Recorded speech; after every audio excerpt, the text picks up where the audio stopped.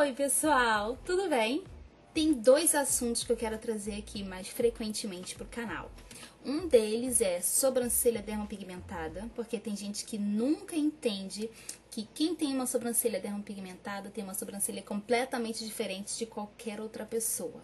E também quero falar mais sobre maquiagem, especificamente sobre a minha pele seca. O que eu começar a trazer aqui pro canal em relação à maquiagem não é o que você é obrigado a fazer. Também não vou estar querendo dizer que a sua maquiagem tá errada, que você não sabe fazer. Não é isso. Eu só quero compartilhar coisas que eu tenho feito na minha pele seca e que tem feito total diferença nela e tem deixado um acabamento muito melhor. Ter pele seca é maravilhoso e horrível ao mesmo tempo. É ótimo porque quase não aparece espinha, dificilmente vem uma espinha. No meu caso, vem espinha quando eu estou assim, extremamente nervosa, ou quando eu estou num período é, pós-menstruação, ou quando eu estou ansiosa para alguma coisa. E quando vem espinha, é espinha interna, aquela que nasce para dentro e que dói tudo. Cravo aparece um a cada seis meses. Isso é maravilhoso, isso é muito bom.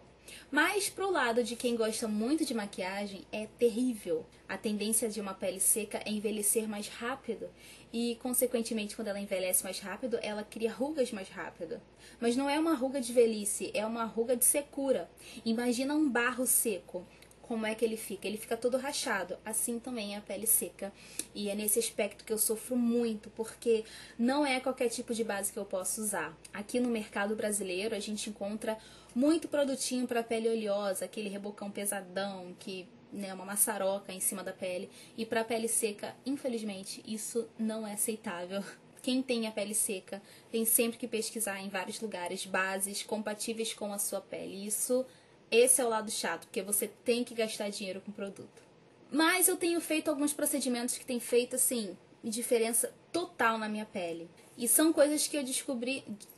Descobri assim, não, né? Que eu comecei a fazer recentemente e eu já vejo muita diferença do aspecto da minha pele, na textura da minha pele. Tá tudo muito diferente.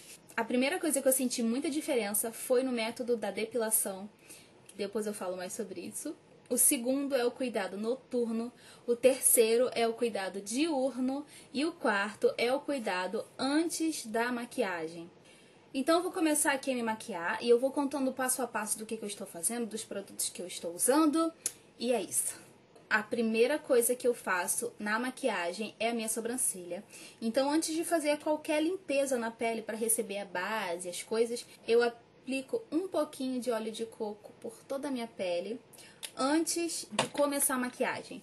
Não precisa ser muita coisa, porque é o suficiente para a pele absorver enquanto eu faço a minha sobrancelha, porque depois eu vou retirar esse óleo. Porque por mais que minha pele seja bem, bem seca, ela não aceita muito bem muita oleosidade de outros produtos. Ela aceita a oleosidade que é produzida pela própria pele, não qualquer outro produto que venha forçar uma oleosidade nela. Eu vou fazer minha sobrancelha agora, enquanto isso o óleo de coco vai estar tá hidratando a minha pele, vai estar tá nutrindo a minha pele. E depois eu volto para mostrar pra vocês como eu dou continuidade a essa maquiagem. Pronto, dei um jeitinho aqui na sobrancelha. Não sei se tá boa, não sei como é que tá, mas é o jeito que vai ficar. Agora eu vou remover esse óleo de coco com um tônico facial. O tônico que eu uso sempre é o da Rinodê, ele é, o, ele é da linha Routine. Routine. E eu não gosto de tirar com algodão, eu gosto de tirar com uma toalha que tá sempre aqui perto de mim, onde eu limpo os meus pincéis, sabe? Tiro o excesso de pincel. Então eu jogo aqui na toalha, ó, na pontinha da toalha, e eu vou retirando agora todo esse óleo de coco que eu passei anteriormente.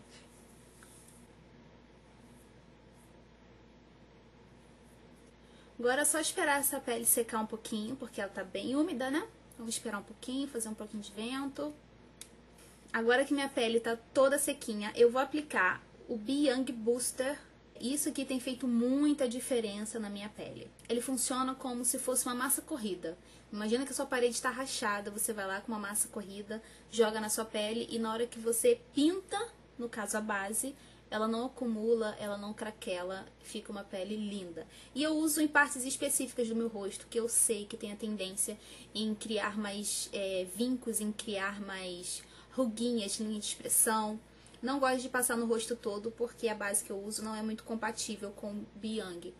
Então eu aplico aqui sempre no bigode chinês e também aplico aqui um pouquinho na testa. E essas são as únicas áreas que eu aplico no meu rosto. E eu venho com o dedo assim, ó, e dou uma espalhadinha. Procuro não deixar uma camada grossa, porque quando acumula camada, uh, a base fica manchadinha. E aí eu fico uns 5 minutos até essa pele secar sem fazer movimento nenhum, pra ele secar bem firmezinho, bem esticadinho. Pronto, minha pele já está bem sequinha, dá pra sentir bem que tem alguma coisa diferente na pele. E agora eu vou começar a preparar minha base e eu estou usando duas cores uh, da Cover Mais da Diesel. Essa aqui é médio 1 e essa aqui é escuro 1. E eu tô usando sempre essa misturinha para chegar ao tom mais parecido com o tom da minha pele bronzeada. Então, ao certo, eu nunca sei o que usar, eu só vou misturando, olhando assim, e aí eu tenho uma noção da cor da minha pele, às vezes fica mais claro, às vezes fica mais escuro, mas a gente conserta com o contorno. E pra aplicar essa base, eu pego um pincelzinho mesmo de corretivo e eu vou pegando de pouquinho em pouquinho, eu vou depositando assim, ó, no rosto. Principalmente aqui, ó, uh, na curvinha do nariz, eu vou pressionando a base. E aí, pra espalhar toda essa base aqui, eu pego uma esponjinha que já tá toda sujinha. E ela tá bem umedecida. Eu vou dando batidinhas na pele pra pressionar essa base contra a pele. Mas também não deixar uh, uma camada muito grossa, porque a esponjinha pega um pouco de produto, né? Deixa o suficiente. Alguém não espalhou a base direito. Ai, ai, ai, ai. Descer um pouquinho no pescoço também para dar uniformidade. Uh. E ainda sobrou aqui um pouquinho na plaquinha e eu vou voltar mais uma vez e aplicar mais uma camada. E volto mais uma vez com a esponjinha. E a segunda camada eu vou espalhando logo aqui onde eu apliquei o Biang, porque se deixar essa base secar muito, ela termina manchando a minha pele. Como essa base é um pouco líquida, ela precisa um pouco não, ela é até que bem durinha, mas o Biang ele é mais compatível com uma, uma massa um pouco mais forte. Pelo menos é o que eu senti aqui na minha pele. E com o restante que tem aqui ó, na plaquinha, essa sujeirinha, e mais a sujeirinha que tá aqui na esponjinha, eu vou aplicar aqui na minha testa. Com muito cuidado para não esbarrar na minha sobrancelha, porque senão já viu. E aqui no meio da sobrancelha eu passo com um pincelzinho, só mesmo com a sujeirinha que tá aqui no pincel. E até onde dá, com o maior cuidado deste mundo, eu dou uma esfumadinha com a esponjinha. Agora eu já vou pro corretivo e eu vou usar o mesmo pincelzinho, só que eu vou limpar aqui, ó, na toalha, que fica sempre aqui perto de mim. E eu vou começar pelo médio 2, também da Diesel. A minha pele recebeu muito bem os produtos da Diesel. Eu vou pegar aqui com o pincelzinho língua de gato e eu vou começar a fazer aqui o meu... Esqueci o nome. Hoje eu tô afim de usar um outro corretivo também, esse aqui já é o médio 1, que ele é um pouquinho mais claro do que o médio 2. E eu vou aplicar mais aqui ó, internamente. bom desse corretivo é que ele é cremosinho, então ele não seca muito rápido. Você tem tempo de fazer o trabalho assim, na paz do Senhor Jesus, sem correria. Agora eu volto com a esponjinha, dessa vez com a parte bicudinha. Eu vou esfumar isso aqui. Pronto, e agora sem demorar muito, antes que esse corretivo aqui dê uma secada, eu vou usar esse pincel aqui, ó, bem fofinho, e esse pó compacto aqui, que também é o médio 1 da Diesel, e vou pegar aqui, ó, um pouquinho, sem tirar o excesso nem nada, eu vou aplicar aqui, ó.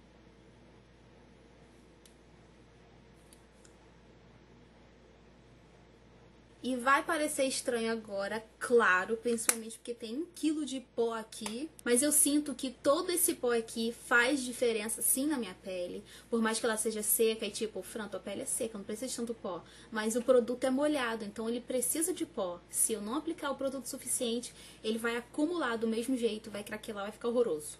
E para consertar toda essa cor aqui, né, para uniformizar essa cor branca que ficou aqui agora, eu gosto sempre de fazer uma misturinha de dois pó também. Esse aqui é o pó, o pó solto da linha Light Skin. E eu vou usar o médio 1, que é um pouquinho mais claro, e o médio 2, que é bem mais escuro, tem uma diferença até bem grotesca, né, entre as cores. Vou pegar aqui um pouquinho do pó, vou jogar aqui dentro da tampinha. E vou pegar um outro pó, que é o médio 2, e vou jogar aqui na tampinha também. E eu dou uma misturadinha assim boba. E com um pincel bem fofão, eu vou pegar aqui, ó. Dessa vez eu tiro um pouquinho do excesso. E eu vou aplicar primeiro pela parte onde não tem corretivo.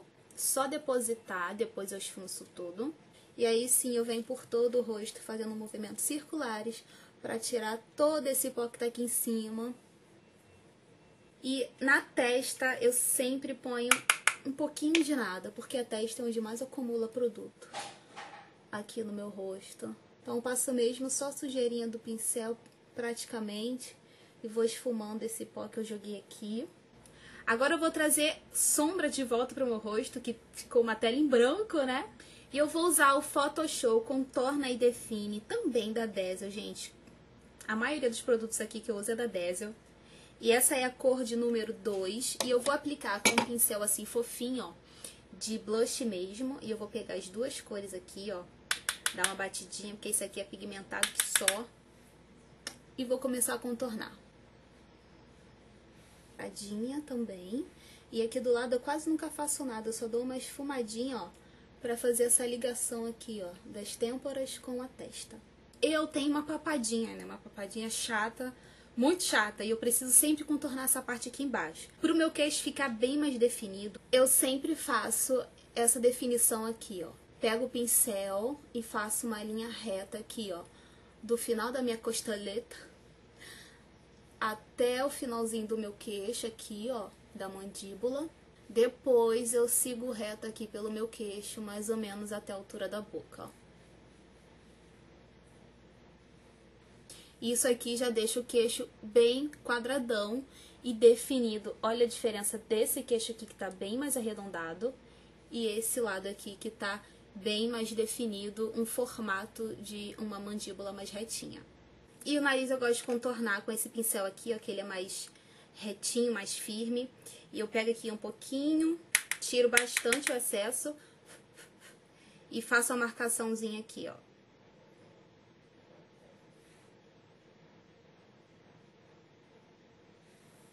E pra esfumar isso aqui eu venho com outro pincel, que é um pincel mais fofinho, ó. E limpo. E venho só esfumando essa marcação aqui pra não ficar muito grossa, muito grotesca. E eu gosto sempre de trazer um ar mais molhadinho pro meu rosto. Uh, então eu tô usando muito esse Beauty Glow aqui, também da Diesel. Ele é um iluminador cremosinho.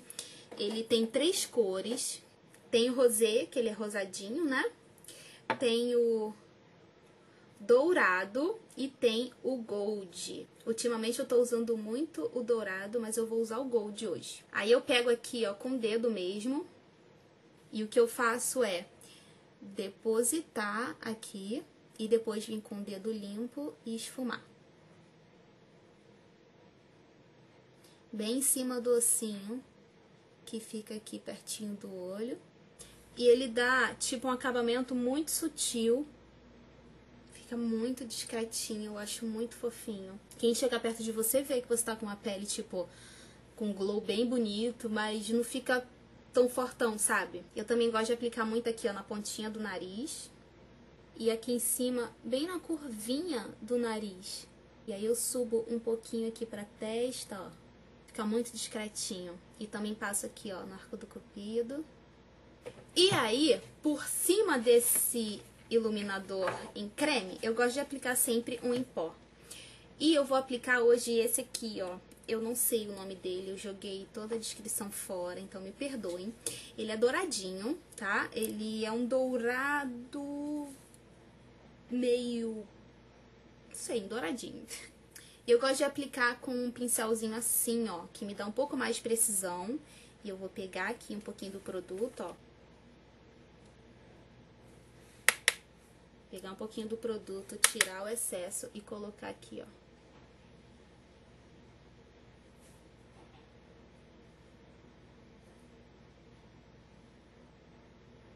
E olha só como é que ele fica bem bonitão.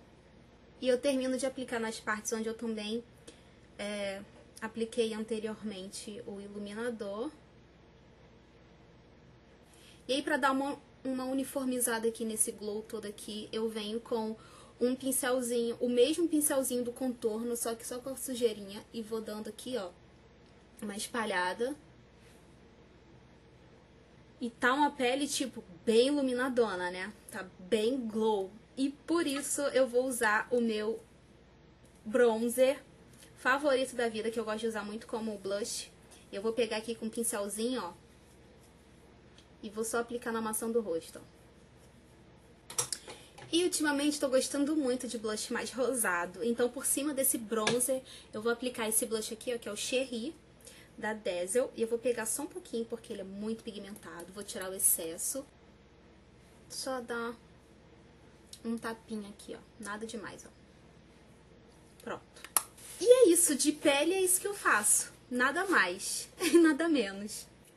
E agora, pra dizer que eu não fiz nada, eu vou só finalizar essa maquiagem aqui bem basicona e daqui a pouco eu volto.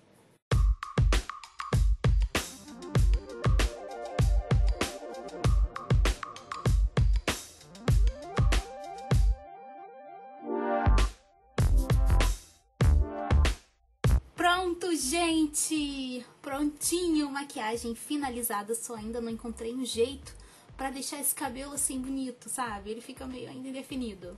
E é assim que normalmente eu faço a minha pele. Isso, tipo, uma pele para ir pra igreja, para ir pra uma festa. Dia a dia eu faço qualquer coisa. Mas a minha pele mais produzida é essa aqui. E eu amo o resultado final.